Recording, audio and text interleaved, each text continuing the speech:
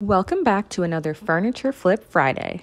We're going to be flipping this French style nightstand today. So let's get to it. This nightstand has a bit of dings and holes in it, but beyond paint leaves a slightly textured finish, so it's great for covering up imperfections and makes it easy for a beginner DIYer like me.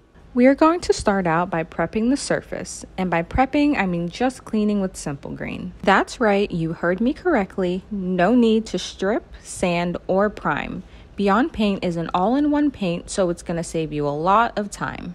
I will be using their toolkit again because the ease of use was amazing for my last project. Remember that this paint is very thick and has a pudding-like consistency, and as you can see, there's no dripping at all. Now, let's get into painting.